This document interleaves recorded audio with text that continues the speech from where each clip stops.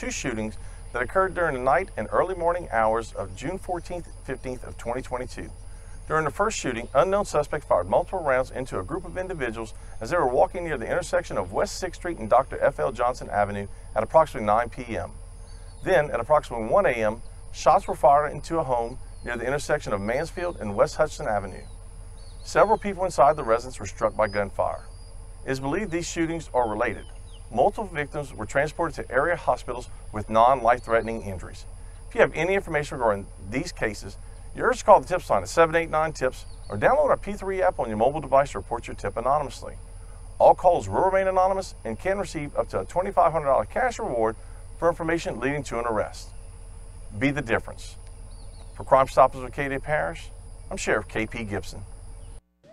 If you have any information on this crime, call Crime Stoppers at 789 TIPS. You could earn up to a $1,000